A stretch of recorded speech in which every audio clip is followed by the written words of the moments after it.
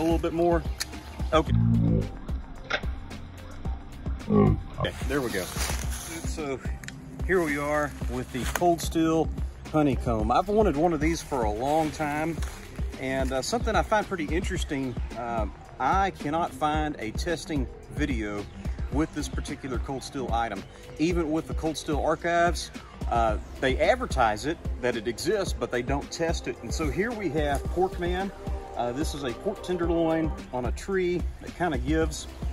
And uh, this particular case, we have some hideous 511 pants uh, that not only do they not fit, but guess what? I don't want to wear them anymore. And so here they are up here.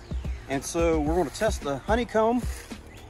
We also have a Bic pin and I've tested this before, but this is the Williams pin by CRKT. So first off, let's test the uh, Bic pen.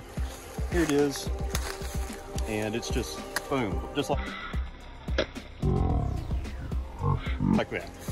All right, so uh, you don't need a high dollar tactical pen in order to do something.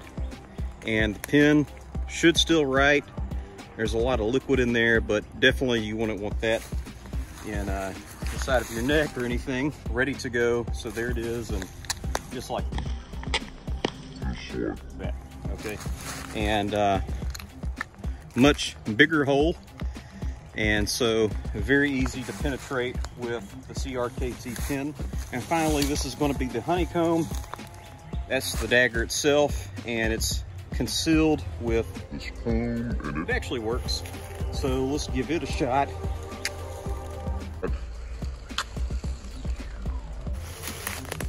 So there was a little bit hesitation when I got to uh, that point, but we have about an inch and a half of penetration and look inside there, you can see the hole. It's definitely uh, these troughs, they kind of make it open up a little bit more. I'm just gonna do one more pierce. All right. So that's definitely going in. I wanna do one more and see if I can bury it a little bit more. Okay, okay. Okay. There we go. So obviously it works. And uh, in order to get full, oh, look at that. Look at that right there. Yeah. Can you see that? Yeah, I can see it. I want to get my light real quick. Yeah. Right there. Definitely wouldn't want that in you.